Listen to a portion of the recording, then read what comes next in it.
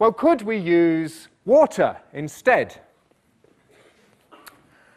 Right, now we're going to try this. We've got uh, a beaker of boiling water here, and I'm going to light some petrol and put this into the beaker. Well, before it even gets into the bottom of the flask, haven't even put it into the water yet, the steam has put it out. So even the steam puts out the burning petrol. What about burning magnesium? So I need to light the magnesium to get it going.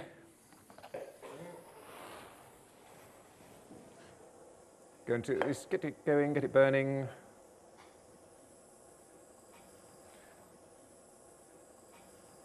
Okay, and lower it into the steam and into the water.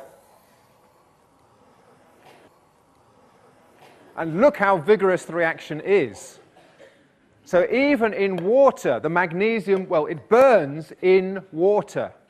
This is combining with the water, it's stealing the oxygen from the water, forming again magnesium oxide and, well, giving out hydrogen. So we can show this with a chemical equation.